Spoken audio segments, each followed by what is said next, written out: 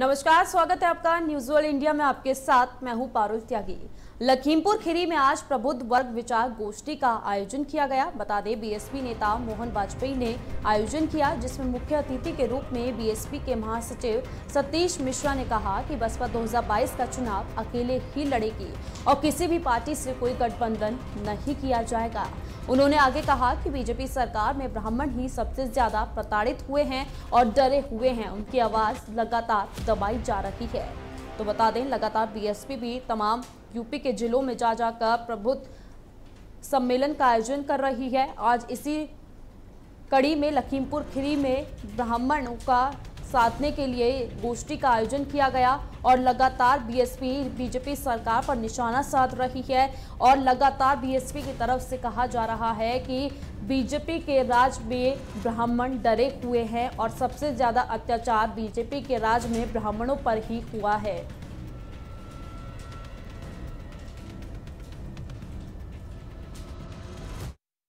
समाज समूचे रूप से आज बहुजन समाज पार्टी के साथ खड़ा हो रहा है। देखिए, ब्राह्मण समाज समूचे रूप से आज बहुजन समाज पार्टी के साथ खड़ा हो रहा है। जितनी हमें उम्मीद थी जिस कदर, जिस तरीके से तेज़ी से जुड़ेगा, उससे बहुत ज़्यादा आगे तेज़ी से जुड़ रहा है। और अभी एक जने प्रश्न कर रहे थे कि क्या आप लोग किसी के साथ मिलकर चुनाव लड़ेंगे? हम लोग बहुजन समाज पार्टी सर्व समाज के साथ मिल करके और उन्हीं के साथ गठबंधन करके चुनाव लड़ रहे हैं। हम लोग किसी भी पार्टी के साथ में मिल करके चुनाव नहीं लड़ेंगे, उत्तर प्रदेश का अकेले लड़ेंगे। हाँ गठबंधन करेंगे तो समाज के साथ। मैनपुरी की आईएएस अधिकारी और सीडीओ ईशा प्रिया ने मैनपुरी को देश और विश्व के पटल पर पर्यटन के क्षेत्र में विकसित करने का जिम्मा उठाया था, जिसके चलते उन्होंने मैनपुरी के 10 वेटलैंड क्षेत्र को चिन्हित करने के बाद यहाँ पाए जाने वाले राजकीय पक्षी सारस को सुरक्षित और संरक्षित करने के लिए एक योजना बनाई थी, जिसे सारस सर्किट पर्यटन क्षेत्र भी नाम दिया गया था। और अगर बात करें मैनपुरी के करहल विकास खंड के ग्राम सहन की तो यहाँ भी एक वेटलैंड क्षेत्र को चिन्हित किया गया था। बता दें, चिन्हित किए जाने के बाद से ही यहाँ की ग्राम प्रधान अनीता देवी ने एसडीएम करहल रतन वर्मा के सहयोग से ग्रामीणों की अवैध रूप से कब्जा की गई सरकारी ज़मीन को कब्जा मुक्त कराया, जिसके बाद ग्राम प्रधान और यहाँ के ग्रामीणों की सार्थक पहल से सबसे कम समय में सीडीओ मैनपुरी ईशा प्रिया की महत्वाकांक्षी योजना सारस सर्किट पर्यटन क्षेत्र को पूरा किया गया है, जिसका आगरा मंडल के मंडलायुक्त अमित गुप्ता ने इस पर्यटन क्षेत्र का फीता काट का उद्घाटन किया और सारस पर्यटन क्षेत्र का भ्रमण करने के बाद यहाँ बने वॉच टावर में पर्यटन क्षेत्र का नज़ारा भी देखा।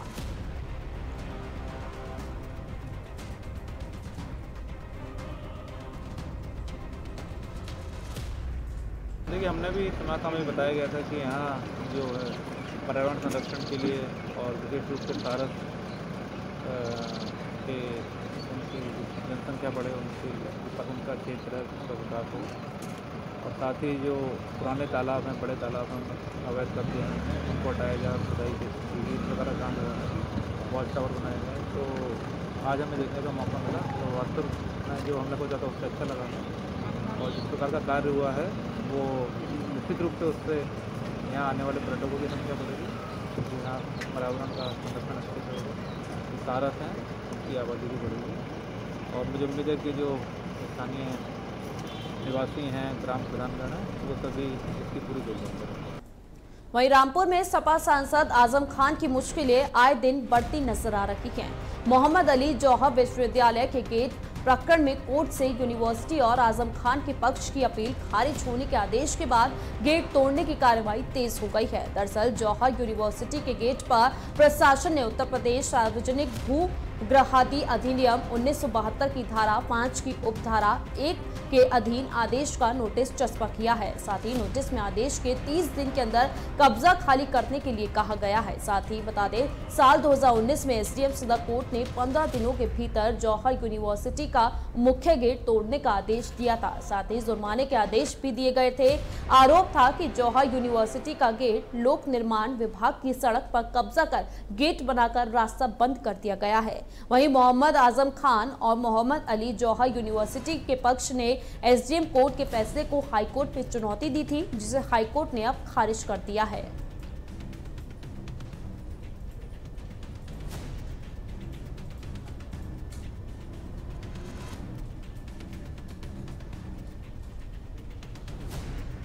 प्रतापगढ़ में थाना अध्यक्ष अखिलेश कुमार ने शराब माफियाओं के खिलाफ बड़ी कार्रवाई की है।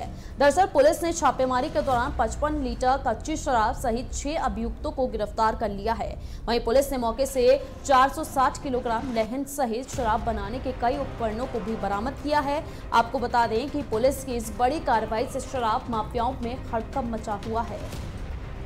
तो बता दें, लगातार शराब माफियाओं पर पुलिस कार्रवाई कर रही है और इसी कड़ी में छह अभियुक्तों को मौके से गिरफ़्तार किया है। पुलिस ने साथ ही नकली शराब बनाई जा रही थी, उसे भी नष्ट कर दिया है और शराब बनाने में इस्तेमाल किए जाने वाले उपकरणों को भी पुलिस ने बरामद किया है।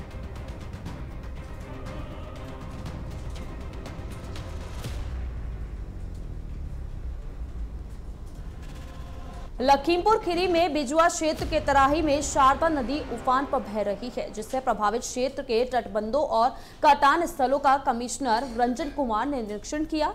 उन्होंने नदी से घटते बढ़ते जलस्तर से हो रहे कटान को लेकर जिम्मेदारों को सतर्क रहने की हिदायत भी दी।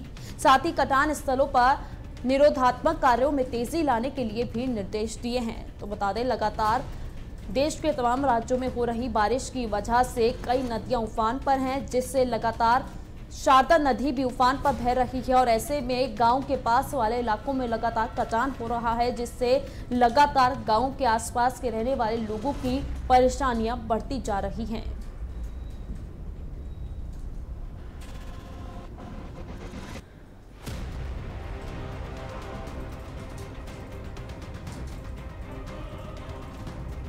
लखीमपुर खीरी में कार्ड धारकों को मुफ़्त राशन देकर अन्न महोत्सव की शुरुआत की गई। गरीबों को मुफ़्त राशन देने की इस योजना को अन्न महोत्सव का नाम दिया गया है। साथ ही लखीमपुर खीरी में कमिश्नर रंजन कुमार ने तमाम खाद्यान्न वितरण केंद्र का भी निरीक्षण किया। साथ ही प्रधानमंत्री की महत्वाकांक्षी योजनाओं में शुमार गरीब कल्याण अन्न महोत्सव योजना के तहत लखीमपुर खीरी में अन्न महोत्सव कार्यक्रम कमिश्नर रंजन कुमार की देख रेख में किया गया। वहीं तमाम गाँवों में कमिश्नर खुद पहुँचे और पात्रों को मिलने वाले बैग सहित बांटे जा रहे खाद्यान्न की जाँच भी की। साथ ही कमिश्नर रंजन कुमार ने लाभार्थियों से बातचीत भी की और उन्हें सामान भी बांटा।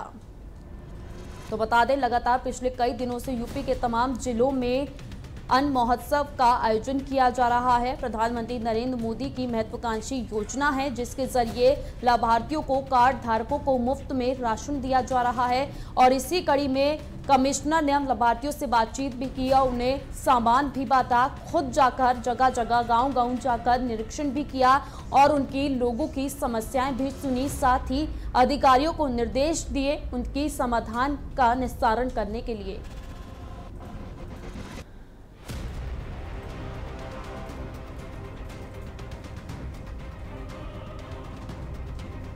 औरैया में यमुना नदी के लगातार बढ़ते जलस्तर और खतरे के निशान के ऊपर आने से के बाद प्रशासन ने औरैया के जालौन राष्ट्रीय राजमार्ग को आवाजाही के लिए बंद कर दिया है। वहीं औरैया की सीमा को सील कर भारी संख्या में पुलिस फोर्स तैनात कर दी गई है। साथ ही बता दें कि लगातार औरैया का राष्ट्रीय राजमार्ग बंद किया जा रहा है। पिछले कई दिनों से और यमुना का जल स्तर जिस तरह से बढ़ता जा रहा है, उसको लेकर यह फैसला लिया गया है।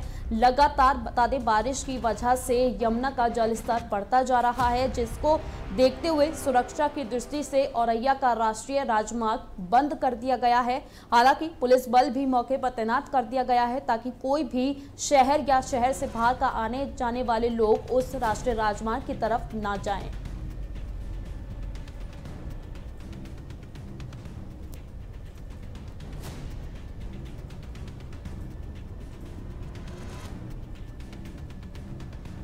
बाजपुर में विश्व हिंदू परिषद के कार्यकर्ताओं ने राम मंदिर के निर्माण का कार्य शुरू होने के एक साल पूरे होने के उपलक्ष्य में भगत सिंह चौक पर 108 दीपक प्रज्वलित किए। और इस दौरान विश्व हिंदू परिषद के कार्यकर्ताओं ने प्रभु श्री राम के जयकारे भी लगाए। बता दें कि बीते साल 5 अगस्त को अयोध्या में राम मंदिर के निर्माण की आधारशिला रखकर कार्य की शुरुआत की गई थी। राम मंदिर के निर्माण का काम शुरू हुए एक साल पूरा होने पर विश्व हिंदू परिषद के जिला मंत्री यशपाल राजहंस के नेतृत्व में भगन, भगत सिंह चौक पर कार्यकर्ता एकत्रित हुए, जहाँ विश्व हिंदू परिषद के कार्यकर्ताओं ने राम दरबार के पास 108 दीपक प्रज्वलित किए और प्रभु श्री राम के जयकारे लगाए। इस दौरान विश्व हिंदू परिषद के जिला मंत्री यशपाल राजहंस ने कहा कि अयोध्या में बनने वाला राम मंदिर हिंदुओं की आस्था का प्रतीक है, जिससे के निर्माण के एक साल पूरे होने पर कई तरह के कार्यक्रम आयोजित किए गए हैं। साथ ही उन्होंने हिंदू समाज को एकजुट और ऊर्जावान होने की अपील भी की है।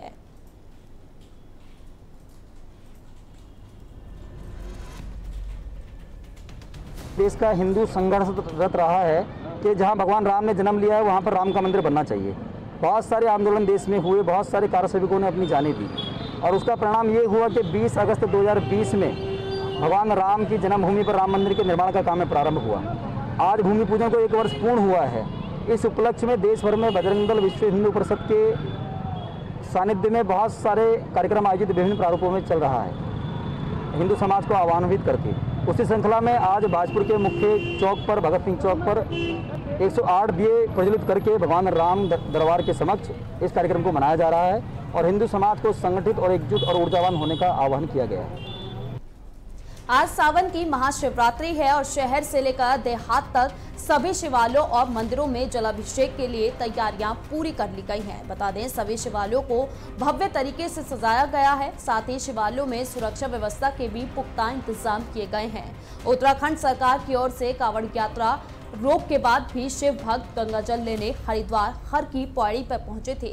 वहीं कोविड नियमों के साथ ही देवालयों में जलाभिषेक करने की मंदिर प्रबंध समितियों ने श्रद्धालुओं से अपील की। साथ ही श्रावण मास की महाशिवरात्रि पर आज ब्रह्म मुहूर्त में ही देवालयों और शिवालयों में जलाभिषेक शुरू हो गया है। इसके लिए पुलिस प्रशासन ने सुरक्षा के पुख्ता इंतज़ाम भी किए हैं। साथ ही पुलिस कर्मियों के साथ पीएससी के जवानों को भी रात से ही तैनात कर दिया गया था। वहीं मंदिरों में आने वाले श्रद्धालु श्रद्धालुओं से कोरोना नियमों के साथ श्रद्धालुओं से जल अभिषेक करने की अपील भी मंदिर प्रबंध समिति के सदस्यों के साथ मिलकर पुलिस कर्मी भी करेंगे। वहीं हरिद्वार शहर में श्रद्धालु सबसे ज़्यादा शिवालिक नगर शिव मंदिर में जल अभिषेक करने पहुँचते हैं।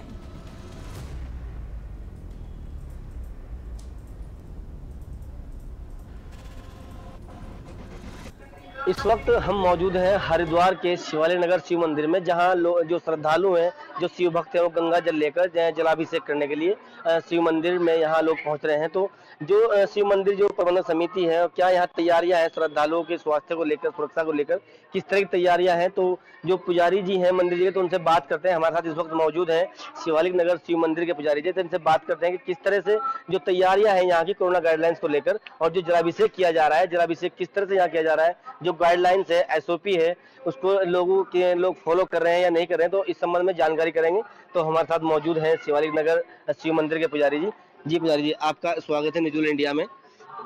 जी तो जो यहाँ तैयारियाँ हैं, किस तरह की तैयारियाँ हैं तो जो शिव भक्त हैं यहाँ पहुँच रहे हैं लगातार जल जो गंगा जल को लेकर के तो जो आप लोगों ने तैयारियाँ की है, किस तरह की तैयारियाँ, क्या कहना चाहेंगे आप? जी। मैं पहले तो तैयारियाँ क्या है, इसमें तो कोरोना के कारण जो है कोई जैसे विगत वर्षों के बाद इस वर्ष कोई खास जो है भीड़ तो नहीं है। सामान्यतः बहुत कम संख्या में भक्तगण आ रहे हैं।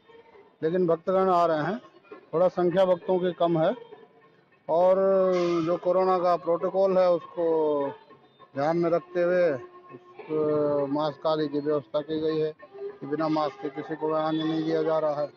और जो भी आए, वो मास्क पहन के आए और थोड़ा सोशल डिस्टेंसिंग का प्रयास कर रहे हैं कि सभी लोग जो है अपना सोशल डिस्टेंसिंग का पालन करते हुए भगवान शिव का अर्चन पूजन करें। जो भी जलाभिषेक है, श्रद्धालु है, सनातन पद्धति है तो भगवान जो है, भगवान को जलाभिषेक करें। तो ये हमारे साथ थे शिव मंदिर शिवाजी नगर के पुजारी जी, जो जानकारी दे रहे किस तरह की इनकी क्या तैयारियाँ थी यहाँ पर। तो इसी को लेकर यहाँ जलाभिषेक किया जा रहा है। तो कैमरा मैन पसंद चाहूँगा कि जो यहाँ तैयारियाँ हैं, एक बार जो लोगों को दर्शन कराएँ कि मंदिर में जो तैयारियाँ हैं, वो किस तरह की तैयारियाँ हैं और जलाभिषेक जो हो रहा है और जो अन्य पुजारी हैं मंदिर के, वो किस तरह से लोगों को एसओपी के बारे में जानकारी भी दे रहे हैं और गाइडलाइंस के अनुसार जो जलाभिषेक है, उसका जो कार्यक्रम है, निरंतर चलता आ रहा है, जो सरकार की गाइडलाइंस है कोरोना को लेकर के, उसकी एसओपी को यहाँ मंदिर समिति की ओर से लोगों को समझाया जा रहा है और लगभग सभी लोग उसको फॉलो भी कर रहे हैं। तो इसी को लेकर पुजारी जी हमारे साथ जुड़े हुए थे।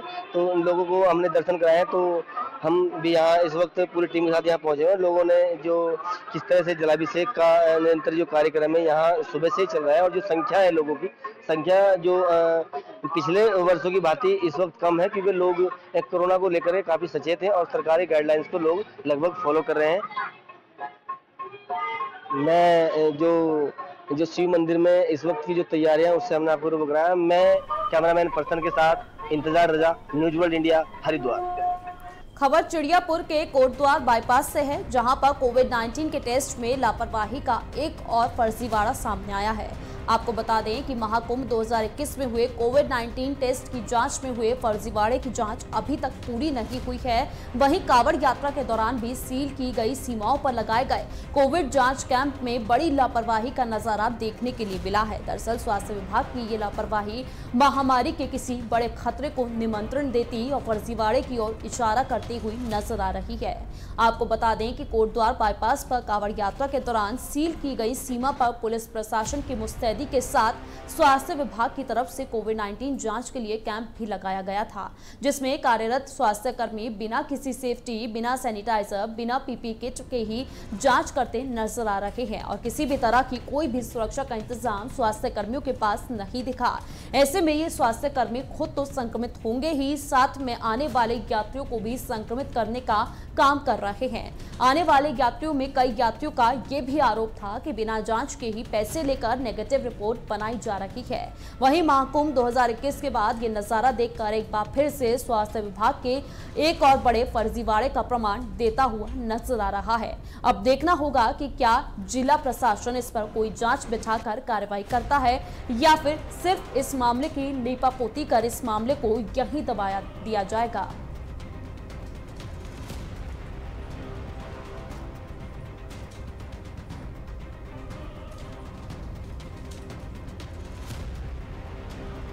आज सावन की शिवरात्रि है और आज देश के ज़्यादातर लोग उपवास करते हैं और शिव जी की मंदिरों में जाकर जल चढ़ाते हैं और सावन की त्रयोदशी को भी शिवरात्रि होती है। पर आज शिवरात्रि शाम को लग रही है, इसीलिए शिवालयों में ज़्यादा भीड़ नहीं देखने को मिल रही है।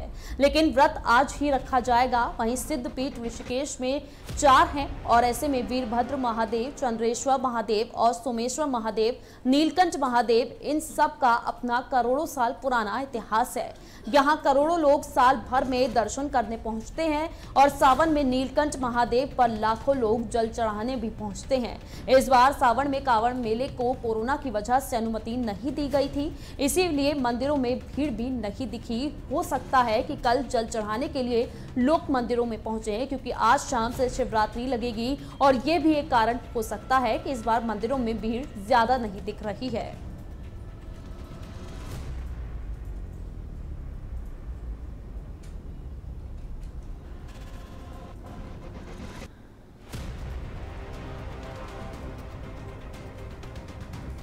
आज शिवरात्रि है और सावन का ये महापर्व है और आज के दिन भगवान शंकर को जल चढ़ाने से बहुत ज़्यादा पुण्यों की प्राप्ति होती है।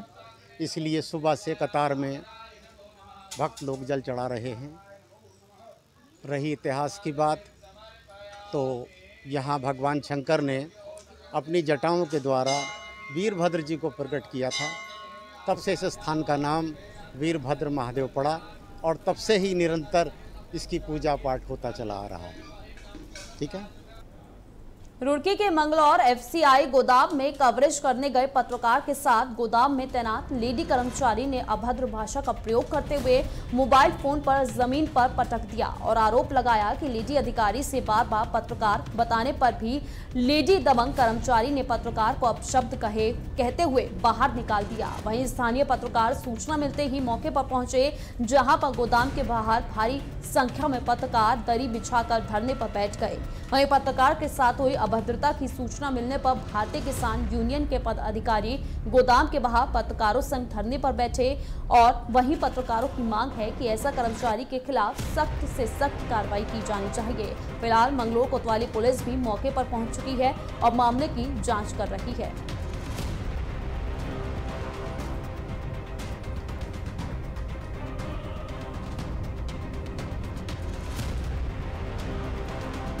टीडी में जिलाधिकारी ईवा आशीष श्रीवास्तव ने विकास खंड चंबा के अंतर्गत ग्राम बुड़ो- बुड़ोगी और जड़धार गाँव पहुंचकर नेपिया घास, अन्य चार पत्ती और फलदार पौधे का रोपण और काश्तकारों को कृषि यंत्रों का भी वितरण किया।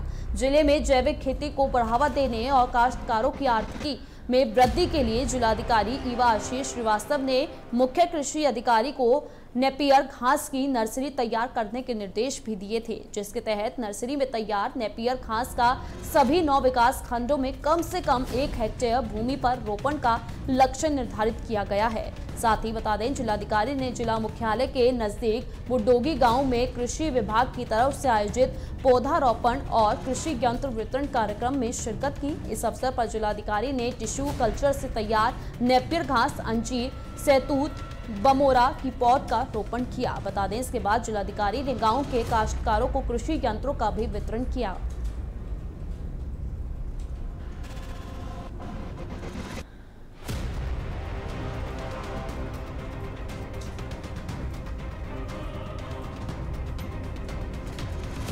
ये इस बार जनपद में प्रथम बार नेपियर ग्रास की के नर्सरी बनाए गए हैं। करीब 94 हेक्टेयर में सभी ब्लॉक्स में बनाए गए और अब उनको नर्सरी बन जाने के बाद अब उनको खेतों में रोपण किया जा रहा है। अगले दो तीन साल में इसका विस्तार बहुत ज़्यादा होने की उम्मीद है। नेपियर ग्रास इतनी फ़ायदेमंद ग्रास है। घास है कि इसका एक पोटेंशियल है कि महिलाएँ जो हम बहुत ही ज़्यादा अपने स्टेट में सुनते हैं कि वो जंगल में जाती हैं, कई बार भालू ने, गुलदार ने हमला कर दिया, पहाड़ से गिर करके मर गए। तो वैसी कैजुअलिटी महिलाओं के साथ होती है तो इसका ये बहुत ही स्ट्रॉन्ग विकल्प है क्योंकि नेपियर ग्रास लोग अपने खेतों की मेड़ों में बंजर लैंड में लगा सकते हैं। इस घास का प्रोटीन कंटेंट सबसे ज़्यादा होता है। तो जो पशु इसको खाएँगे, एक तो उनको कहीं फिर इधर उधर पशुओं को चराने ले जाने की ज़रूरत नहीं पड़ेगी और यहीं पर वो घास उनको दे सकते हैं अपने ही खेतों की मेड़ों से तोड़ करके। और दूसरा इसका फ़ायदा ये है कि अगर प्रोटीन कंटेंट चूँकि इसमें बहुत ज़्यादा है तो पशुओं का जो चाहे वो प्रोडक्शन दूध का है तो वो भी बहुत अच्छा होगा। तो पशुपालन के लिए ये एक क्रांतिकारी स्टेप इसको कह सकते हैं, जो जनपद में स्टार्ट किया गया है। और मुझे पूरी उम्मीद है कि जैसे जैसे इसका प्रदेश में विस्तार होगा तो पशुपालन के क्षेत्र में काफ़ी क्रांति आएगी और पशुपालन ही नहीं जो ह्यूमैनिटेरियन एस्पेक्ट भी अगर हम देखें, जो महिलाओं को घास के बोझ बोझ तले वो दबे रहते हैं तो उनमें भी बहुत बड़ी क्रांति आएगी। आगरा में चंबल नदी का जलस्तर घटने लगा है और आज सुबह 10 बजे तक नदी का जलस्तर घटकर एक मीटर पर आ पहुँचा है। हालाँकि बहाव तहसील के गाँवों में बाढ़ के हालात अभी भी बने हुए हैं। यहाँ कई गाँव जलमग्न हैं, जिनका तहसील मुख्यालय से संपर्क टूटा हुआ है। इन गाँवों के ग्रामीणों ने अपने बच्चों और पालतू पशुओं के साथ बीहड़ के ऊँचे टीलों पर रात गुजारी है। प्रशासन ने ग्रामीणों तक राशन और अन्य खाद्य सामग्री पहुँचाने का दावा किया है, लेकिन ग्रामीणों का कहना है कि उन तक प्रशासन की मदद अभी तक नहीं पहुँची है। बता दें कि मध्य प्रदेश और राजस्थान में हुई बारिश के बाद चंबल नदी का जलस्तर एक सौ मीटर पर पहुँच गया था। खतरे के निशान से 6 मीटर ऊपर पहुँचने पर चंबल नदी के तटवर्ती 38 गाँव बाढ़ से बुरी तरह प्रभावित हो गए थे। स्कूल, पंचायत, घर और खेत खलिहान पूरी तरह से जलमग्न हो गए थे। अभी नुकसान का आंकलन शुरू नहीं हो सका है।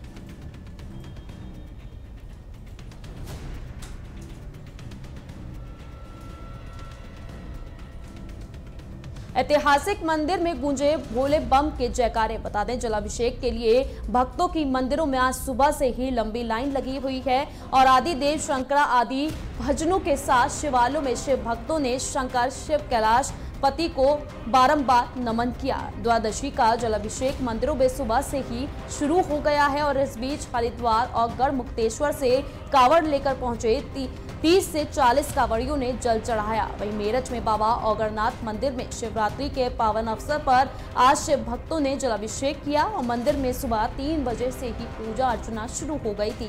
भक्त रात दो बजे से ही मंदिर में पहुँचने लगे थे और बताया गया है कि मंदिर पूरी रात खुलेगा और चार पहर की विशेष पूजा का आयोजन भी मंदिर में किया जाएगा। शिवरात्रि के पावन अवसर पर बाबा औगरनाथ मंदिर सहित शहर के सभी मंदिरों को भव्य ढंग से सजाया गया है। वहीं मंदिरों में जलाभिषेक शुरू हो गया है और सुबह बड़ी संख्या में भक्त आरती और पूजा में शामिल हुए। साथ ही शिवरात्रि के मद्देनजर पहली बार मंदिर समिति ने जलाभिषेक के लिए फ्री गंगा जल की व्यवस्था भी की थी। साथ ही मंदिर के मुख्य द्वार पर गंगा जल के विशाल ड्राम भी रखवाए गए थे और लोटे भी उसी स्थान पर रखे गए थे ताकि शिव भक्त आकर मंदिर में जल अभिषेक कर सके। बहुत अच्छा। जब पिछले साल मंदिर बंद था दर्शन नहीं कर पाए थे इस साल दर्शन करा क्या आस्था के साथ दर्शन किया? जब तो घर पे पूजा करी थी इस बार ज़्यादा अच्छा लगा। क्या आस्था रखी आप? भगवान से क्या मांगा है? रखी प्रोफेसर बनना अच्छा कहा जाता है इस मंदिर में जो भी श्रद्धालु मनोकामना माँगता है वो पूरी होती क्या ये बात हाँ बिल्कुल। अच्छा कितने साल से आप इस मंदिर में दर्शन करने गए बारह तेरह साल से। कैसा लग? रहा है बहुत अच्छा लगा है। अच्छा आपने दर्शन करें किस मनोकामना के साथ आपने दर्शन किया मनोकामना है भगवान ने सपने में दर्शन दिखाए इसलिए यहाँ एक चाँद चक आए बिना बुलाए। अच्छा भोलेनाथ ने शंकर ने दर्शन दिया बुलाया किसी न किसी बहाने से। अच्छा महामारी को लेकर क्या जनता से अपील करना चाहते हैं? महामारी के लिए थोड़ा बचाव रखना चाहिए अपना। इस बुलेटिन में फ़िलहाल के लिए बस इतना ही आप देखते रहिए न्यूज़ फॉर इंडिया